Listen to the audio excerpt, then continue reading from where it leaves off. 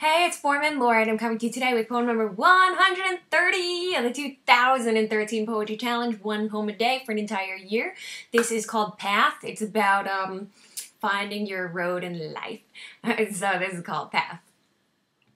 I'm taking a path, got my eyes up the road, don't know which way to turn, cause my future ain't showed. This past where I gloated and I'm seeing that light, but see, I walked away cause it never felt right. So I fought a good fight and my might led me on with one foot from the other, from that dusk till dawn. And at this denouement, I am taking my stride cause I'm choosing my path and it's chosen with pride.